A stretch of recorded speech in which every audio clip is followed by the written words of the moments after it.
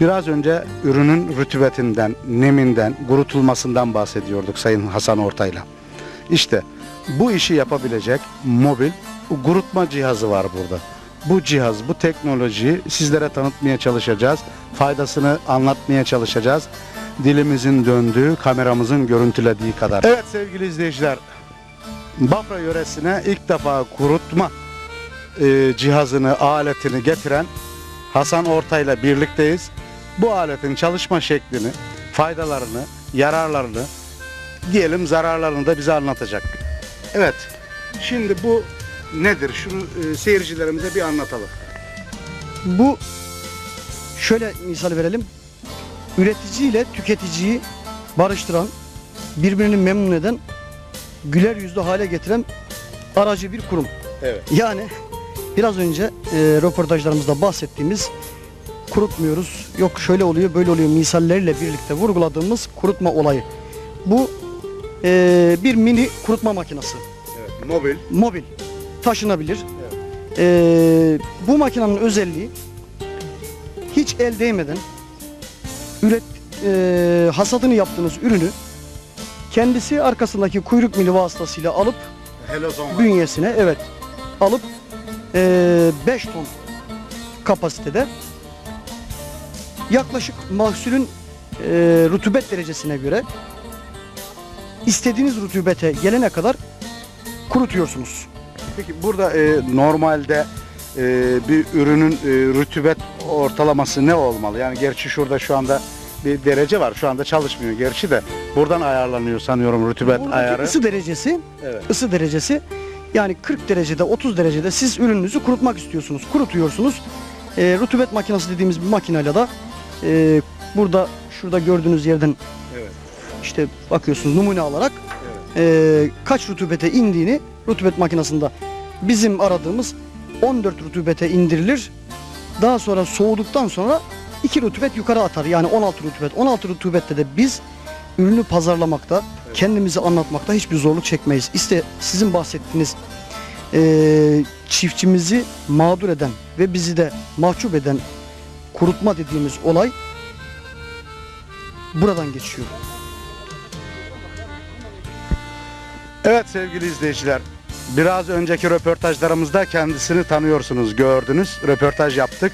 Toprak tahlili yapmamış 600 dönüm pirinç yaptığına göre ama nasıl olduysa bilemiyoruz. Teknolojiden yararlanmayı da bilmiş. Kendisinden alalım bakalım bu çeltik kurutma makinesinden nasıl faydalanmış, faydaları neymiş öğrenelim. Evet. Bu makinenin faydası ne oldu size anlatır mısınız? Çiftçilerimiz de bir görsünler, duysunlar. Bu makinenin faydaları bize mesela mevsim normalleri bazen iyi gitmiyor. Yağışlı gittiği zamanları, nemli olduğu zamanları çeltiğimizi mesela bunda kurutuyoruz.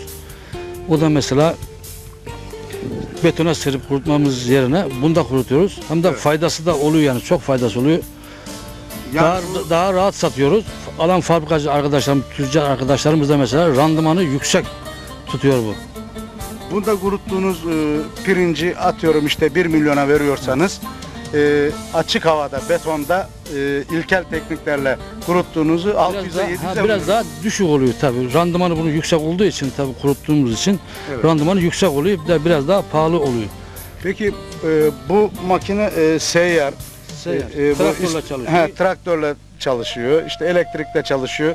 Peki bu çok pahalı bir şey mi bilemiyorum ama peki başkaları eğer ihtiyaç duyarsa Evet. kendi çeltiğini de hasat ettikten sonra burada kurutmak isterse onların da çeltiği kurutuluyor bu. Nasıl bir kolaylık sağlanıyor? Kurutuluyor tabii. Bu mecbur kalanlara mesela ihtiyacı çok olanlara mecburen gidiyoruz tabii ama herkese de yetişmiyor. Evet. Genelde mesela çok arkadaşlarımıza söylüyor hepsini de yetiştiremiyoruz.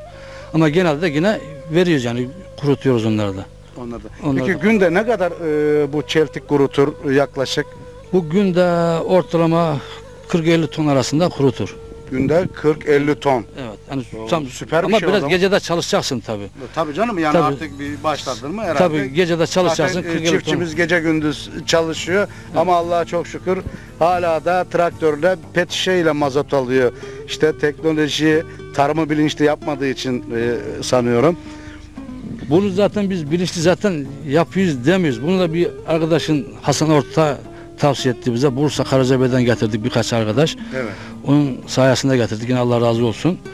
Onun sayesinde mesela çeltiklerimizi de en azından daha rahat satabiliyoruz. Evet yani pazar e, durumunda sıkıntı olmuyor. Tüccar gözü kapalı Gözü çünkü kapalı. alabiliyor yani. Alıyor bunu çektikten sonra paket yapmak isteyen de mesela fabrikacı arkadaşlarımız, tüccarlar mesela paket yapıp satabiliyor yani istediği yere verebiliyor. Zaten Hasan Bey e, genelde burada e, bu geçmiş makineden yani kurutulmuş rütubet nem oranı 14 ile 16 arasındaki bizim en standart Tabii ona- alımımız bu diyor. Ondan yükseğini falan almıyoruz. Çünkü bir pazar yakalamışız diyor. Bafra pirincini tanıtmışız diyor.